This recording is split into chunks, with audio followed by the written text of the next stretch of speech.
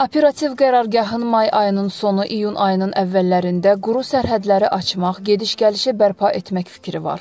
Bu sözləri Cəbhə Infoya quru sərhədlərin açılması məsələsinə münasibət bildirərkən millət vəkili Musa Quliyev deyib. Deputat artıq sərhədləri açmağın mümkün olduğunu bildirib. Azərbaycanda əsasən yay ayları turizm sezonu sayılır. Turistlər də öz işlərini planlamalıdırlar. Əlaqələr möhkəmlənməli, insanlar digər ölkələri işləri ilə əlaqədar getməli, iş adamları bura gəlməlidirlər. Rusiya Türkiyə ilə insanlarımızın əlaqələri var. Onların gediş-gəlişləri yaxşılaşdırılmalı, rahatlanmalıdır.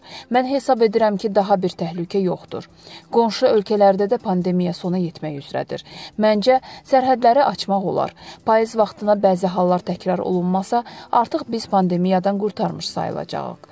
Milli Məclisin üzvü deyib ki, ölkədə karantinin müddətini uzatsalar da, quru sərhədləri müəyyən variantlarla açmaq olar.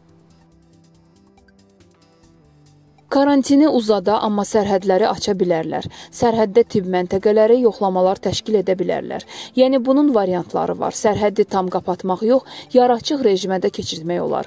Qeyd edək ki, Azərbaycan 2020-ci ilin martından etibarən koronavirus pandemiyası ilə əlaqədar quru sərhədləri bağlayıb.